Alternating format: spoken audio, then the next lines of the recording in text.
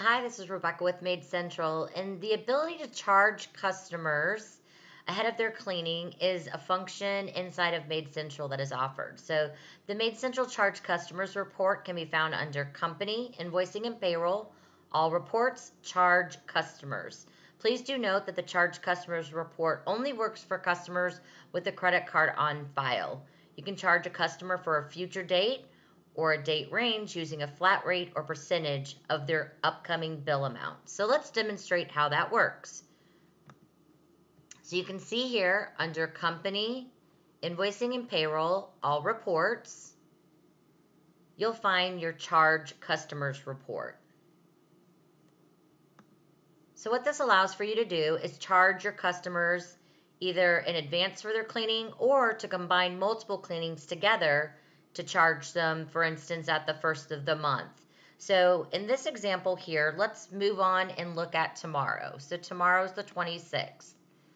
So if I wanted to charge all of these customers that are having their cleans done tomorrow before the cleaning is scheduled, I have the option to charge a flat fee. So if I just wanted to charge everyone $50 before the cleaning, I could change this to 50, update it, and it would show that each of these customers is going to get charged $50 onto their card on file.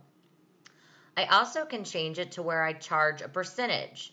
So for example, if I wanted to charge the total bill rate, I could put this to 100% and update, and it would fill in the amount for the total bill of this charges for tomorrow. So again, by charging cards, you can see they all have cards on file. I will be collecting the money before their cleans are completed tomorrow. Okay, the charge is processed. You can see they all now have a QuickBook balance of a credit in the amount of their cleanings for tomorrow. So once tomorrow hits and I go to company invoicing and job records to create their invoices. And again, this will be after the jobs are completed tomorrow, but just to show you on the invoicing and job records report what that looks like.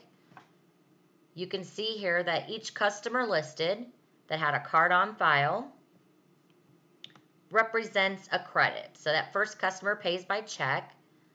The customers that pay by credit card all have a credit on their balance within QuickBooks. So I would wait for these jobs to be completed, for the technicians to have their check-in and check-out times displayed, verify that everything looks correct, and tomorrow, after jobs are completed, I would then create invoices.